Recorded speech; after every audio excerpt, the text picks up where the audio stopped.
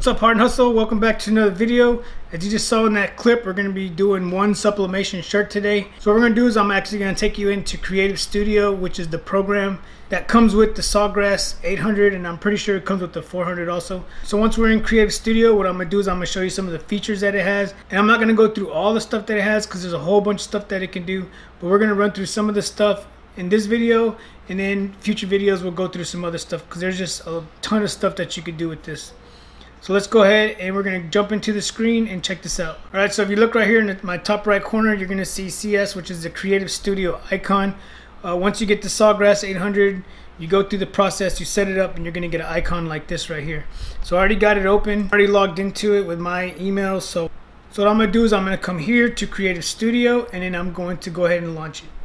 Once you launch it, it's going to open up another web page. It's, and then what I'm going to show you here is just the different things that you could do. So you got the products, you got designs, images, text, clear, undo, redo, object, select all, and then you got some zoom features here. But without, you can't do any of these right here without picking a product first. So what we're gonna do is we're gonna be doing a t-shirt, but like I said, this right here has so much stuff that you could do. So you got all this stuff here. Depending on what size, depending on what size paper you're using, you got all the different sizes you could do here. Uh, if you see this one right here, it says awards. Whenever we click it, a whole bunch of different ones come up. And then there's just trophy inserts, specialty shape plaques, rectangular rectangular plaques. Uh, let's do bags. It has all these different bags you could do, wallets, um, cash clips or money clips, bags everything if you look on here everything's gonna come white because as you know um, sublimation works best on white like there's socks. You're gonna do socks safety wear head and neck accessories. So you got caps bandanas just ear warmers everything. Footwear accessories. So you could do chanclas or flip-flops you could and then we're gonna go we're just gonna go to apparel. So then again here you got arm sleeves and you got youth sleeves. There's tons of stuff. So what we're gonna do now is we're gonna go into what we did like in the first clip is we're gonna go to a basic short sleeve shirt. So I'm gonna do is I'm gonna click that. Once you get it pulled up you got the back of the shirt. What I'm gonna be doing is the front. So what I'm gonna do is I'm gonna go ahead and I'm gonna click the size paper that I'm using and I'm using the tabloid 11 by 17 once I got that done what I'm gonna do is I'm gonna go ahead and then click the shirt. It's gonna load the shirt up. And then I can um, upload images or designs. So we're gonna go ahead we're gonna go to images. So once you're here you got a whole bunch of different stuff here that's already uh, that comes with the that comes with the program. Or you can upgrade you could pay a monthly fee and get different stuff. Basketball you see you have all these right here and then you can add your own text around them to whatever you want to add to it. So you got those and let's go to football. So if you look here you got the different they're already pre-made stuff. Uh, if you click it so here you got the pre-made stuff. We'll come down here we'll find something uh, like varsity football so once you got this design in there, once you got this design, you can always come over here to the right and change out the name of the team, change out varsity, junior varsity, um, whatever you want to change it to. And then you got this one here. And then you can add stuff to it if you want to add different things to these. Then you have the name of the high school. You can always go in there and change it. And then when you hit OK, going to load and then it's going to change it. So once you got in there, you can resize it however you want. So just like that, just uh, different things that you could do. So we'll clear this one out. If, you if you're using this here and someone came to you was looking for, uh, they were getting ready to do like, say they were getting ready to do a 5K run. Let's see what they got in here for that. So we'll go to track and field. Yeah, there we go. So you got all these right here. They're already pre-made. Some of these, like I said, they're premium. You got to pay for them. But then if you look down here, these are some pretty cool ones. If you're going to do something like this. So if you're doing something like this, you could change it.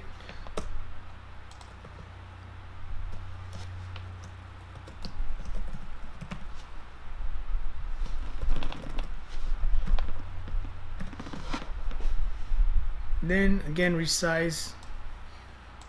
Make sure you click the right thing to resize. Whatever I'm just messing with it. But then you can change class of 16 to 19 so change it cross country if you just wanted to put whatever. Whatever you want to put in there. And then you have all the different the star each different star that's in there the burst. So if I delete the burst you're gonna see it takes that away. The circle the design the banner the star each individual star. So that's just some of the stuff I wanted to show you. And once you're done with it just come up here click clear or you can come here and undo everything that you just did and put it back. So we're gonna go and we're gonna clear it out. Do now is I'm gonna go to my images and I'm gonna come over here let them load my images. I'm gonna come here to this one right here Frank's logo. I created this logo for a guy. Frank's graphic apparel. He's on Instagram. Go to his page check him out. So I'm gonna be doing this one for him. So what I did was he plans on ordering more shirts later on. So what I did was I put this here and then what you could do is you can add text. So next thing I'm gonna do is I'm gonna go up here and I'm gonna add a text in here. And then we're just gonna put I forgot what he wants I already created it but I'm gonna show you how you could do it so we'll just put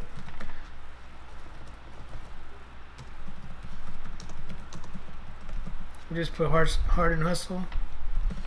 And then we're gonna hit enter and it's gonna put it in here. So we got this. I'm gonna resize it to fit within the paper. So the boundary whatever paper you're using is it's going to show you whatever paper you're using. So I'm using the 11 by 17 like I showed you in the beginning so it preset it onto the shirt. So once you got your font in here that you want you come down here to fonts you could change it. So this one is a is a so this one here doesn't put them in alphabetical order like it does in all the other programs. It actually breaks them down which is okay I guess. So we'll come here we'll find something like script. Then pick pick whatever one you want it changes it Alright, so once you got your font picked the way you want it, you come over here, you could click the. You could do an outline. We're not going to do an outline to it. You could do the warp text to it. So we did something. It doesn't do a preview as you're doing it. So what you have to do is you have to actually go in there and then click OK for it to do it. And it didn't do it. Art, come here. There it goes. I was on the wrong one. So there it is right there. You could do different stuff like that. And then with the little ball, you could rotate it. All right, so this one, this is not the one I'm going to be using. So we're going to go ahead, we're going to clear this out. We're going to hit OK to clear it out. And I'm going to come over, I've already saved the design that he wanted. So when I come over here to my designs, it's already right here. So I don't ever have to mess with it again. It's right here, it's what he wants. So this is going to go on the front and this is going to go on the back. But since it's one page, I'm just going to use the whole thing. You don't have to waste two pages. Just do everything on one so that you're able to save some paper. Um, I just put it, put this piece on top, this on the bottom. We're gonna go ahead and we're gonna read. We're gonna go ahead and press this. And then another thing you can do is you can click the logo. You can come to Object. If you want to get it exactly center in the page, you can uh, align horizontal or align vertical. We do horizontal. It's gonna put it in the middle. We do vertical. It'll put it in the middle. But we're gonna leave it right there. So that's good. So what we're gonna do is we're gonna go ahead once you get it like this you have it the way you want. You come up here click print. My design I just leave it the same. Just hit OK it's gonna say that my design already exists. And then it says right here save complete. Click here to print. So we're gonna click that. And then we're gonna go here and we're gonna hit open. And then it's basically gonna show exactly what we're doing. So uh, this is the material we're using a polyester fabric material. If you click this it's gonna have all the different stuff that you could print on. Right so we're doing the polyester fabric we're using the text to print our paper. We're using tray one I'm not using the bypass tray. Or you can come down here and auto select tray. So I just have the one tray so I'm just using that one. High quality make sure you mirror it because whenever you do this you also do it in reverse because the, the image goes facing down. So if you forgot to click that and you left it like this, and then you went to press it, everything's going to be backwards. So make sure you hit the, the mirror button. If you have more than one printer hooked up, make sure you're connected to the Sawgrass and the type of ink that you're using, which will be on the cartons when you first get them. So then whenever you're ready, you're going to hit print. So we're going to take this over there to the printer and we're going to print this off. Alright, so we're over here with the printer. Alright, so we're over here with the printer. I'm going to show you. Uh, I'm using the 17 by 11 inch paper. So here it is right here. Um, it's, the, it's not the oversized tray that goes in the back of this printer right here. But if you're using the regular paper, you would just flip these things. And this front tray right here actually extends. So if you weren't using the paper this long, you would just slide it up. Uh, one thing you want to know is whenever you put this paper in here, the dull, the dark side goes up. And if you look at this side, you'll see it's brighter. That's the sublimation side that you want to use. So whenever you put this in, make sure you get it all the way in. And then use this right here to cover that. So, and then I have this, and it comes with this here because this paper is real long. You don't want it to come out all the way. And then it has some things here. It shows you the colors. Right now it's an energy saver mode. While it's in energy saver mode, it does its self-cleaning every once in a while. So what we're going to do now is we're going to go ahead. We're to send this image over here. Like I said, we're going to come here to print.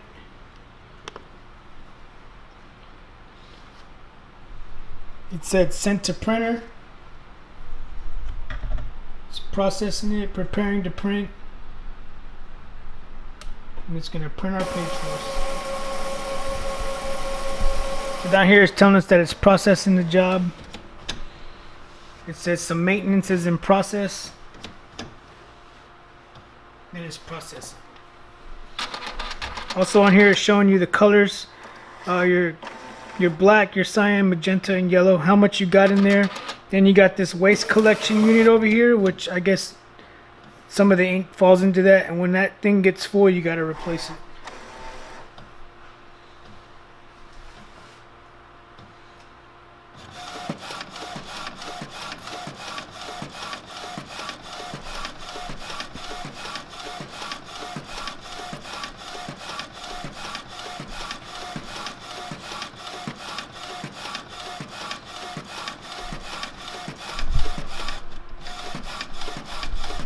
So up here is showing that it's sending its job in the process, how much is how much of it is done. And then it shows you the levels of your ink right there.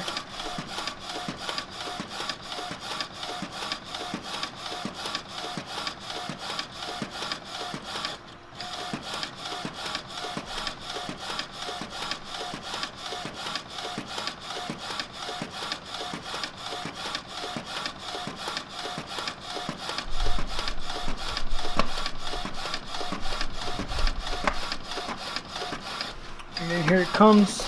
It's almost complete.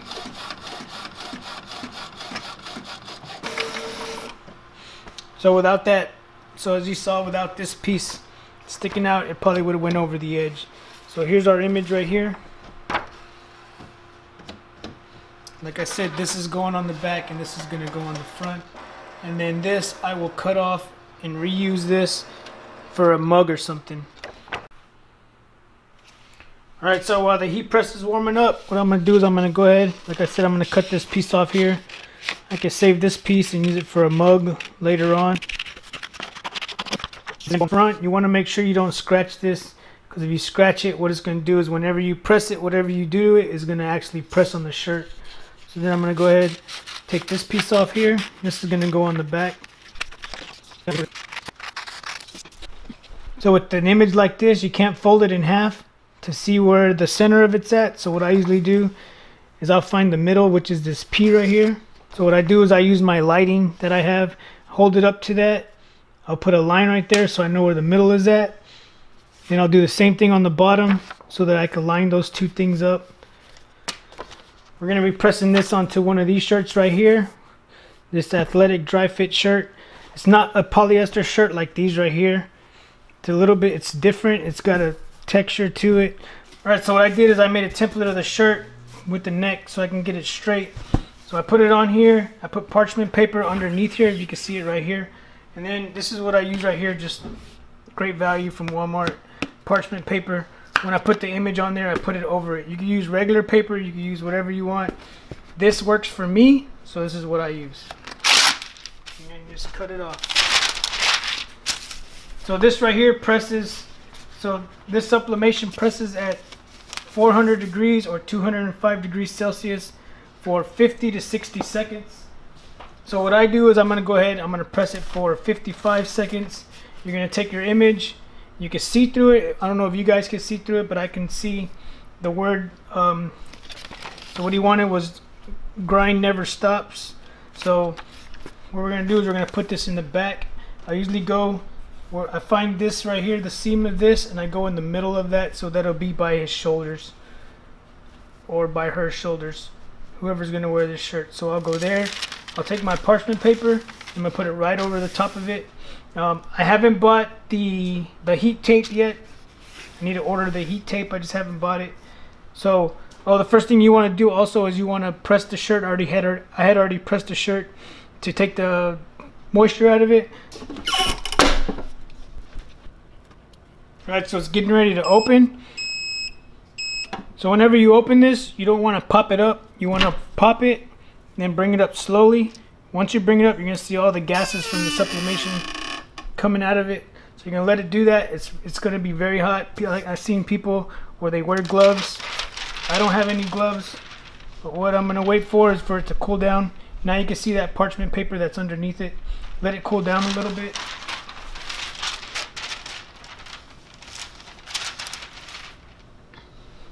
Once it cools down, you can pull that off and then you'll see your image. So here's our image for the back.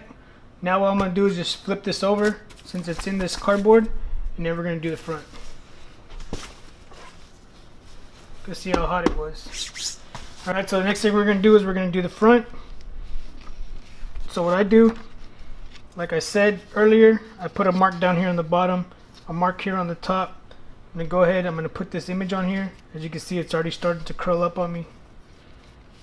Once I get it where I want it I'm not using a T-square. It's a little bit harder with this right here because of the um, it's not transparent like vinyl. So once I get it into place you can do the same thing three fingers however many you want. It's up to you. Make sure we got our image straight. Put my parchment paper over it got it into place I'm going to go ahead we're going to do the same thing press this for 55 seconds. Alright so it's getting ready to open. Again it's already it's already released but I'm holding on to it. Then we're gonna let it come up slowly. See those gases get released? And then we'll remove this let it cool down a little bit lift this up make sure whenever you lift this up you take it straight up you don't want it to bounce around and then leave what they call ghosting on there so here's what we got went from that looks like that Right, so there's the image. It came out good. So I'm gonna tell you anything. Whenever this thing is done, you don't want to press it again like that. You don't want to press it straight down because what it's gonna do is it's gonna leave ink up onto your iron up there. So do not do that. All right, so there's the front of this shirt right there.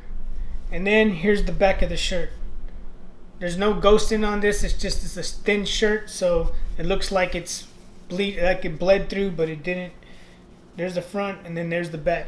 All right, so make sure you go to Frank's Graphic Apparel. Check out his Instagram page, and if you want, it's up to you. Can follow him. If you got any questions on the process that I went through when I did this shirt, go ahead and leave some comments down below. If there's something I did that you do that you do different, uh, leave some comments down below and let me know. Uh, Gina Jill, follow her on YouTube. She's always doing stuff with sublimation, so she's been doing it a lot longer than me. So whenever I have a question, I send her a message on Instagram. So go make sure you follow her on Instagram and check her out on YouTube. All right, again, thank you guys for watching. And last I want to say, don't forget 5,550 subscribers. We're going to be giving away 50 Plastisol transfers. That's myself and Topp transfers. We're going to be doing the 12 by 18 inch sheet. You could gang it up, put whatever you want on there. All we got to do is get to 5,550. So again, thank you for watching. I'm Joe. This is Heart and Hustle Printing. And until next time, keep pressing.